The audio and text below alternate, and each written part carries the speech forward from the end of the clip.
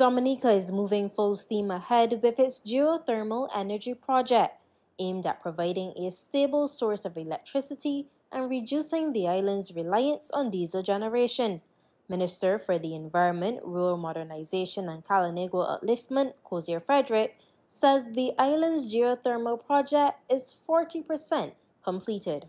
We have acquired land, so we have, we have done the injection wells, we have done the testing, we'll have more than um, 10 megawatts of power, and there, there's a scope for twice that amount in the coming years. So right now we are, we're on the point to build the actual plant and, and to, to, to um, move the power from the site to the to the one of the major um, um, power stations. So far, the country has invested 80 million US dollars into the project. So we're excited about this. We have made major investments in that already, and right now we're working with the the World Bank um, to to get the rest of the funds to build the power plant and the distribution lines to the main power.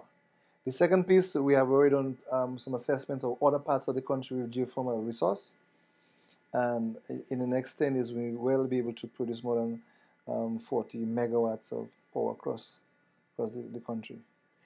The timeline for project completion is 2027. Within the next four years we'll be able to, because the layperson on the ground, he's only excited about geothermal. That's the normal guy on the street when it comes to a light bulb. And so we said in, in, in, in, in four years' time we will be able to do that. Don't sure we bring the power into the power station and have it distributed. He suspects it would mean a 50% reduction in the cost of electricity. While acknowledging the benefits to Dominica, he says the entire Caribbean should be excited. We're hoping that we, we, we can sell we can sell power to the region. I, I think I mean the the geothermal resource is so big here. Um, we, we, we will be able to, to bail out, I think. Uh, a couple years ago, um, Trinidad with its oil was able to bail a number of countries. I think we will become that that way in Dominica, and use geothermal to assist a number of countries.